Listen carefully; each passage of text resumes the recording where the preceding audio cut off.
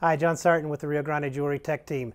Back to show you the L160. This is a four torch hydrogen torch unit. I'm going to go over setup and a little bit about use.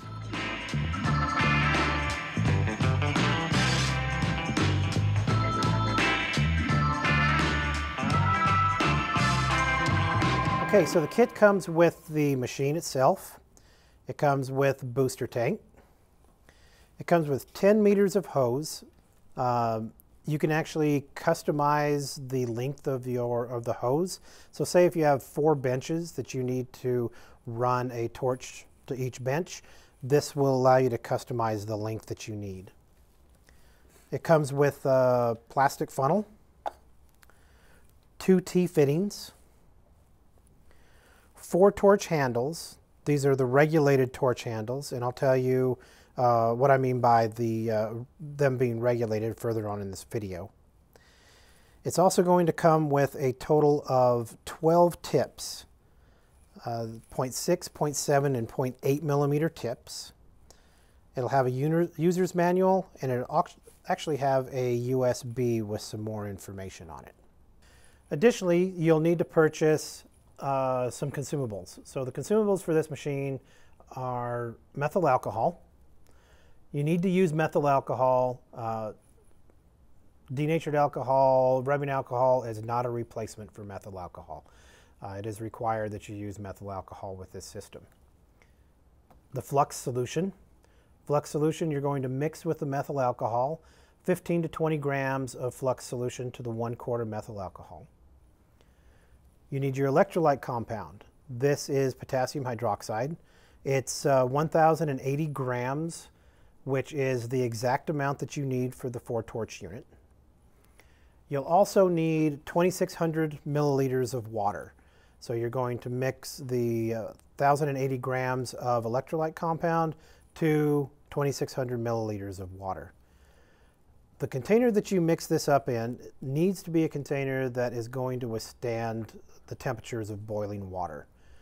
There is an exothermic reaction that happens whenever you mix the electrolyte solution. It gets very hot. Um, the solution can actually even boil. You might hear a boiling noise from it. Um, and it does get very hot. So make sure that the container that you're using is something that will withstand that. Additionally, you're going to need a like a stainless steel spoon, long stainless steel spoon, or a glass rod to mix the solution. You need to follow all safety precautions found in the SDS sheets of these items, and those SDS sheets are actually attached to uh, the item's web page. Um, if you need further information on that, you can always give the tech team a call. Another thing that you want to have on hand is you want to have vinegar on hand. Um, Vinegar is actually a neutralizer to the, the caustic solution, the potassium hydroxide. So if you do spill it, you can use vinegar to clean it up. If you get it on your hands, so on and so forth, use vinegar to actually neutralize the solution. So I'm going to go ahead and mix this up off camera. Um, it's going to take probably an hour for the solution to come down to a, a point that it's cool enough to actually uh, put into the machine and, uh, and then we'll go from there. Okay, uh, I've uh, mixed up the solution, I've been letting it cool, and uh, I've actually just went ahead and started uh, attaching my hoses. I've cut the hoses to my lengths that I wanted. Um, attaching the hoses is really easy. It comes with a, uh, a little, like a little collet. Um, you put that on the hose. You shove the hose over the barbed fitting on the bottom of the torch and then you go ahead and screw that tight. Attaching it to the machine is the same thing. Um, it has uh, it has the same type of nut and you attach it to the machine in the same manner. Okay, so now um, after we've got that taken care of, we're going to put the electrolyte into the machine. The electrolyte solution is uh, cooled down. It's come to almost room temperature. You'd never want to put the electrolyte, hot electrolyte solution directly into the machine. The, the way you're going to do this is the first thing you're going to do um, is you're going to turn the machine on. Actually, the first thing you're going to do is you're going to plug the machine in. Then you're going to turn the machine on. There are uh, two positions on this rocker switch. There's the upward position, which is actually the on position, and there's the down position, which is the fill position. It has this little icon there. So I'm going to turn that on. Going to make sure that my power knob is all the way down. You're going to notice that these lights come on. So uh, this is the way that you're going to tell how much fluid is inside of your machine. And it's also going to tell you when you need to add extra um, distilled water to the electrolyte. The electrolyte solution, the 1080 grams, is the total amount that you're going to need for an entire year of running runtime on the unit. You will not replace electrolyte solution except uh, every year. So the only thing that you're going to top it off with is going to be distilled water. So to do that, we've got it into the fill position. We're going to go up to the safety cap. I'm going to remove the safety cap.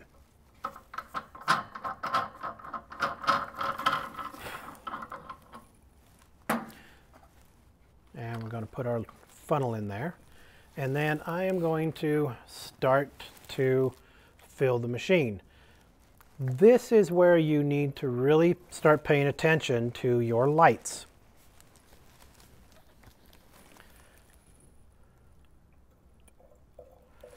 You're going to see that your the lights are going to start to change from green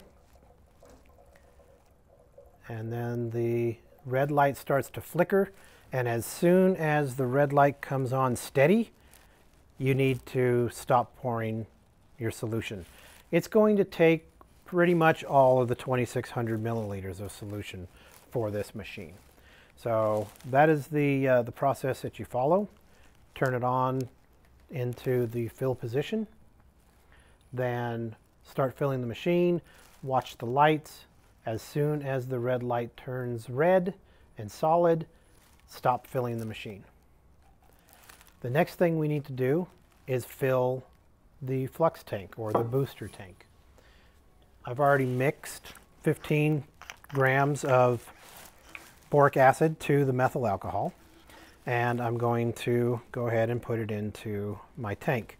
Now one thing you don't want to do is get the solution down into this center cavity. So you can just put your finger over the top of it and start to fill up the tank.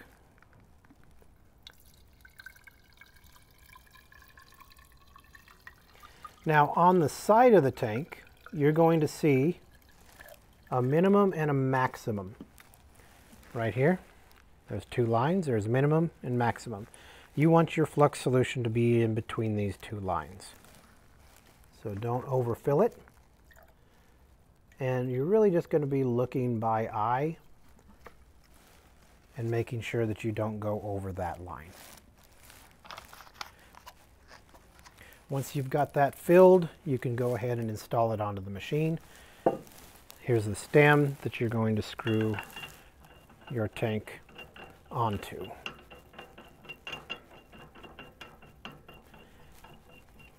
Okay. Now you want to tighten this up, but you don't want to over tighten it. There are gaskets in there, and if you crush the gaskets, you'll need to replace them. Um, so tighten it up until it's snug, and then leave it at just leave it snug, don't over tighten. Same thing with the safety cap. I'm going to go ahead and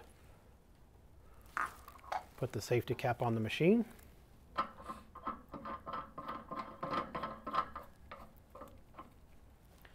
Just until it's tight. And now you are ready to start the machine. Okay, so we've got the electrolyte solution in the machine. We've got our torches hooked up. So now the only thing, we've got our, our flux tank hooked up. Um, so now the only thing that we need to do is, is light our torches. So we're going to put the switch into the run position, which is straight up. You're going to hear the fan kick on. Whenever you start it up, always remember to have the power control down into zero.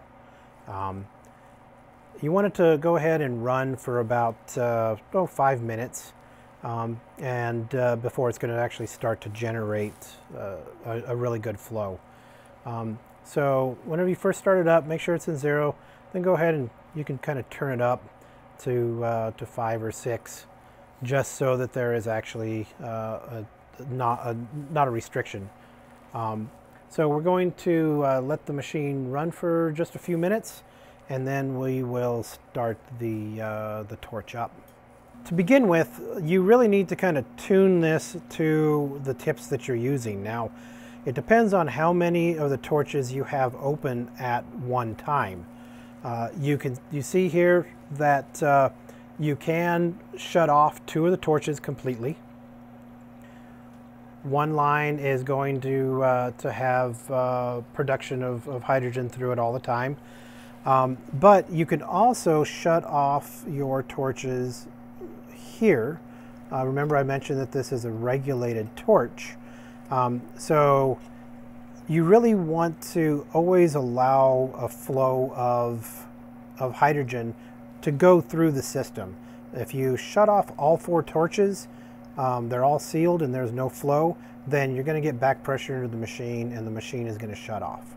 Um, so you're always going to want to keep one torch open just, uh, just for that. So let's go ahead and let's start up a torch. I went ahead and I put a, um, a tip on the torch. This is the 0.7 millimeter tip. Um, and I've got a really good flow. I can actually feel a really good flow of hydrogen um, coming out on my hand. So I'm going to go ahead and light it. Now you see it's it takes a little bit of time to light um, you can always turn the torch back a little bit to reduce the flow and it'll light easier. Um, but, uh, but there you go. The torch is lit now. So I'm going to go ahead and I'm going to open up the valve a little bit more here. This seems like this is uh, about as open as you want for this particular tip. But I can also cut this back. So if you're working with a little bit finer work, I can actually cut this back a little bit and work with a really small flame. So it's very adjustable on these on these torch handles. Okay, so let's go ahead and start up this other torch. We're going to put a 0.6 on this one.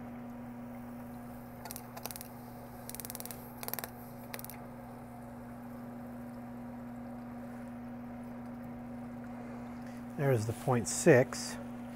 And let's go ahead and I'm going to open up this valve.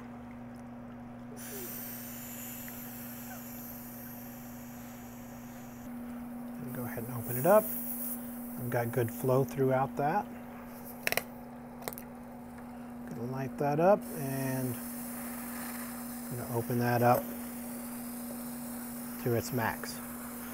So you can see we've got 0.6, 0.7, and 0.8 millimeter flames.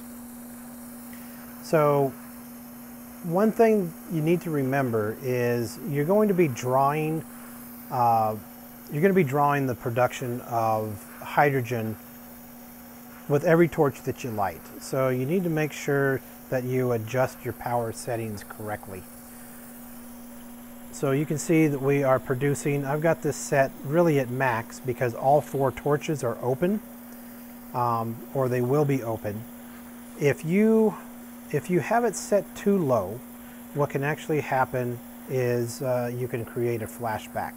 Um, so you need to make sure that whenever you are running all four torches that you have it producing the max amount of fuel uh, that it can produce. Okay, so we've got actually all four torches going now. Um, and now I need to show you how to shut these torches down.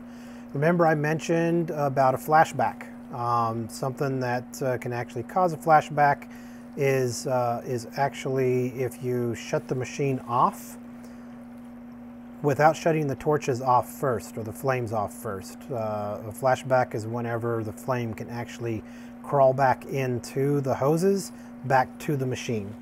Uh, there is a flashback arrestor. Uh, we'll talk more about flashbacks in the uh, next video which will cover troubleshooting and maintenance. Uh, but for right now, uh, let's go ahead and show you the proper way of shutting these torches down. Um, the, uh, you, what you want to do is you want to extinguish these torches by closing the valves. So one by one, we're just going to close the valves off.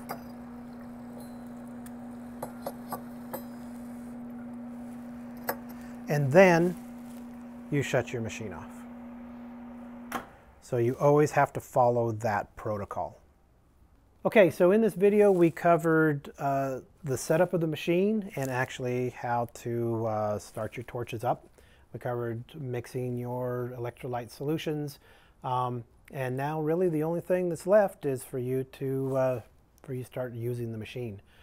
In the next video, uh, I'm going to cover troubleshooting and um, maintenance items. So uh, please check that video out. And I hope this information has been helpful for you. If you have any questions, don't hesitate, give us a call. The tech team's here to help.